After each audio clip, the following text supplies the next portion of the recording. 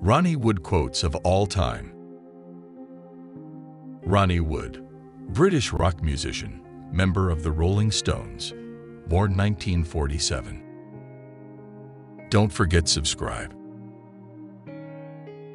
The blues echoes right through into soul, R&B, and hip-hop. It's part of the makeup of modern music.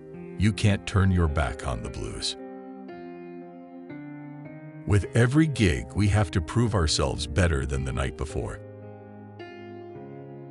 There's a basic rule which runs through all kinds of music, kind of an unwritten rule.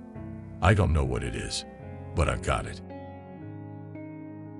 I tried to emulate my favorite guitar players, the old bluesmen like Blind Willie McTell and Big Bill Broonzy. When I first saw Joe, I said, boom, that was it, because I'm a one-woman man. People often get the wrong impression of Mick. The clever businessman is just one side of Mick. The other side is the same as the rest of us, a true rocker. My dad lived till he was 78. My mum was in her 80s, and I've got two uncles who are in their 90s now. I am a big fan of the Impressionists, and in my school days, I was inspired by Caravaggio, Velázquez, and Rembrandt. I think people are just creative, and this can be expressed in a number of ways. Bob Dylan and David Bowie create both music and art. You don't make solo albums to have hits. They say you can smoke 400 cigs a day and drink 20 cups of coffee, but you can't have a line or a drink again. We got touring with the Stones, and people were trying to keep up with Keith. Mick says, would you join the band? I say to him, Mick, you know I'd be there in a New York minute. Mick has expressed an interest in coming to the gallery tonight because he's seen me behaving myself lately. He is being much more supportive, which is nice. Joe left me a few months ago for 10 days. I get this note. I'll come back when the real Ronnie comes back.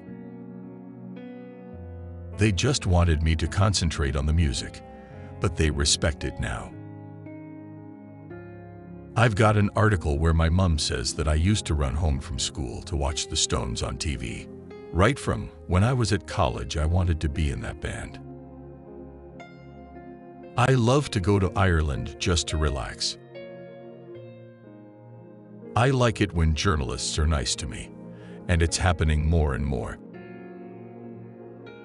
I heard this massive thud. I spun around, and there Keith was, on the ground. He'd cut his gums up on impact. He was very bloody and clutching his head. I think it was a kind of wake-up call for him. I always want to rock. Having loved the Stones all the time I was growing up, I wasn't about to see them go and split up. It got very close to it in the 80s, when Mick thought that Keith hated him, and vice versa. Regina Spektor is great. I can't wait to see what more she's capable of. I have been rich and I have been broke. Some of it is my fault for choosing bad management and making bad investments. But that is life. We all take risks. I love to get into a landscape and paint my horses. I still feel 29. Maybe I should act my age more but I just can't. We do things on an exchange basis in the music business. It keeps the wheels turning. That's how I can get people like Slash, Flea, and Kris Kristofferson on my album. Collaboration should be done through trades rather than charging each other a fortune. Songs are out there. They're waiting to be grabbed. I start with a phrase, musical and lyrical, words like I don't think so. And a nice riff. It rolls from there. I used to worry. I've lost my family. They hated me for a while, but they're very resilient.